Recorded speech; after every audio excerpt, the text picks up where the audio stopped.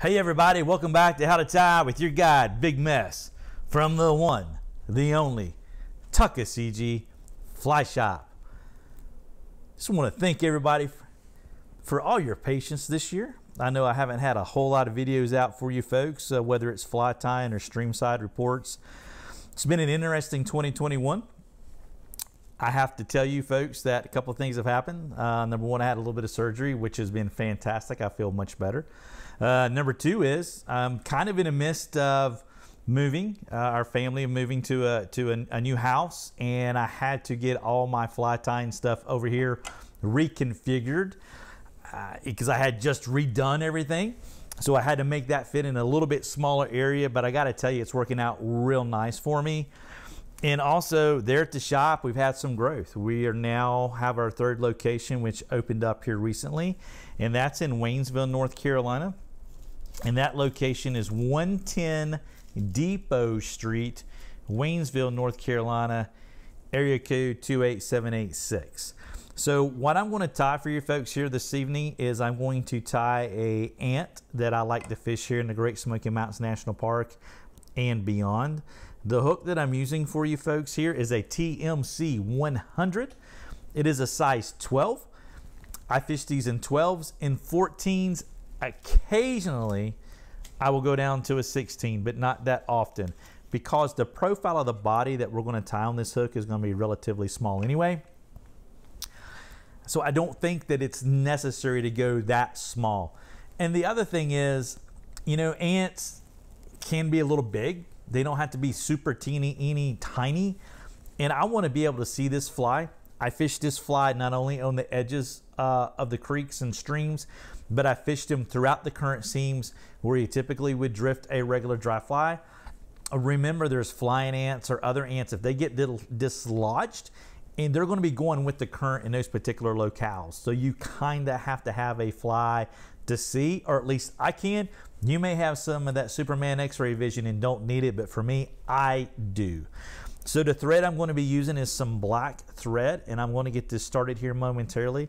And I am actually using a Legacy C Norvise with the stainless steel Magnum hubs.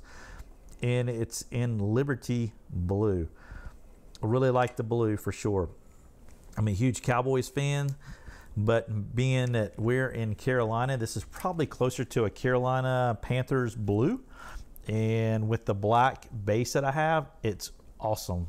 It's stinking awesome. So I want to take some superfine black dubbing and I'm going to spin this up here on my Norvise and I'm just going to take this that may be a little bit too much we can always add to it so I'm going to rotate that spin the vise toward me right there let that dubbing catch onto that thread and this is going to make a super durable body and what I am going to do here with this is I'm actually going to build up a ball to represent the the ant itself you can do this with red in the back. You can do it with black in the back like I'm doing here. But all you're doing is basically building up this little ball. Um, and that's all we want to do.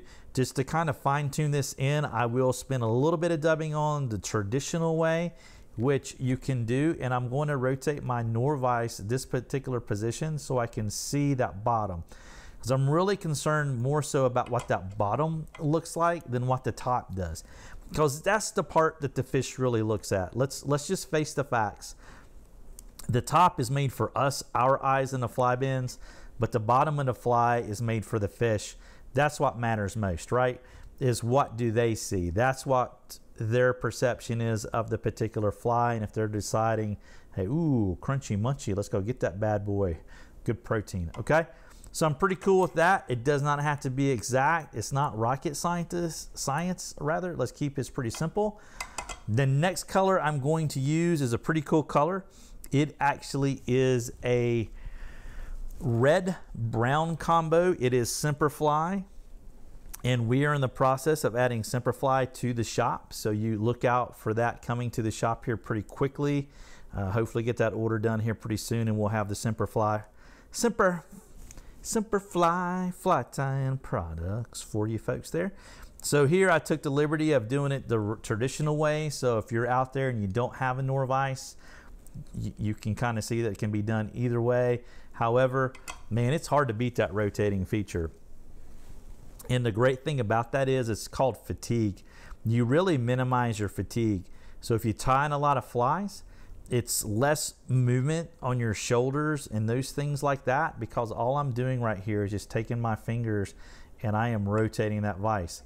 Then I have the ability with the tension knob over here to be able to dial in how much tension. I can fine tune where it is position wise uh, in the rotation movement. I've got those lock positions and I can do whatever I need to with it. So I'm going to put in a half inch.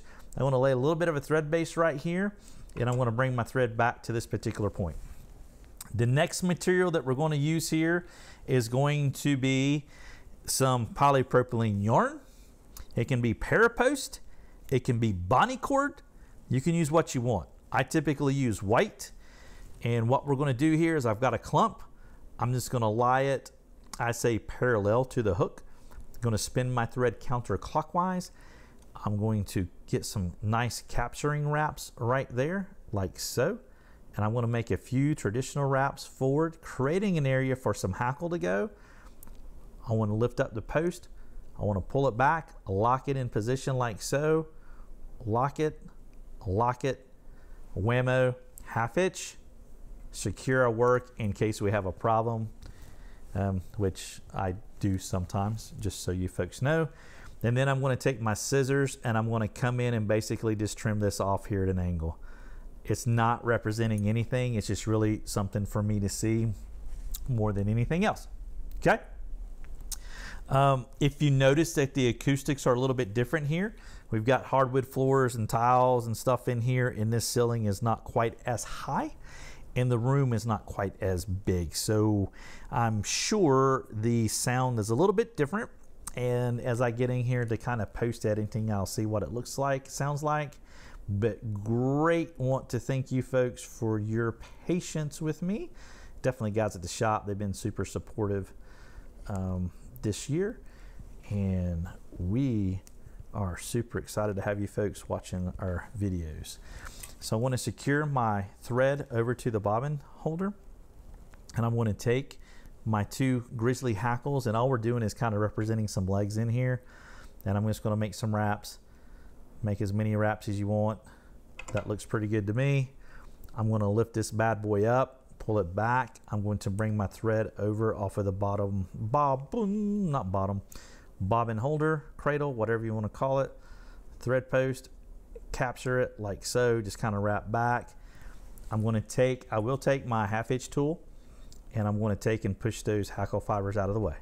One, two, and I'm going to do a third, okay? Still got plenty of room at the eye hook. I'm not crowding it. It's big. I don't really give a hootie tootie. It just works. Whammo, whammo lemma ding dong. That's all there is to it. Now, I'm just going to push those back.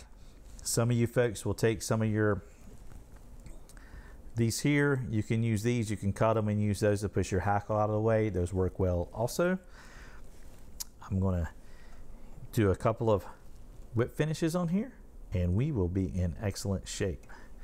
As far as the materials on this fly, just look at those down in the description below. Super simple, tie them in black, black, red, whatever colors you want to. Cinnamon, uh, based upon the terrestrials you have in your area. I think that's the most important thing. So I'm going to take down and I'm going to take my scissors and I'm just going to trim this. If you want it long, trim it long. If you want it short, trim it short. That just really kind of helps as far as a visual aid out there. The other thing, if you want to trim this down here, feel free to do so as well. Typically, I leave it until I'm on the water and see how they react. If they want a little bit lower ride and fly, feel free to come in here and trim it down. It's not going to hurt it at all. It's you have the ability to adjust it when you're on the water. And I feel like that is an area that a lot of flies uh, fishermen lack in doing is when you're on the water, having a pair of scissor forcep combinations to be able to make an adjustment. Uh, maybe you have a great uh, stonefly pattern that's a dry fly, however, they're eating them below the water you know, take that dry, you know, trim it out, make it look gnarly, but it's still a stonefly and it rides under the water. That's okay. It's okay to modify the flies. That is your prerogative, but it also could it could be the difference between catching, you know, two fish or you know, maybe hooking up in 15 or 20. just understand these things are meant to be modified. And if you're a tire, which you probably are by watching, you have the ability to get super creative with your fly patterns. So if you folks have any questions, feel free to hit me up at shannon at tuckflyshop.com. Uh, remember, we're located at 3 Depot Street, Bryson City, North Carolina, 530 West Main Street, Sylva, North Carolina, and our new location, 110 Depot Street in Waynesville, North Carolina. Thank you folks for watching, and I look forward to seeing you folks on the next Fly Tying video. Y'all take care. Peace out. We'll catch you on the next one. Tight lines, everybody.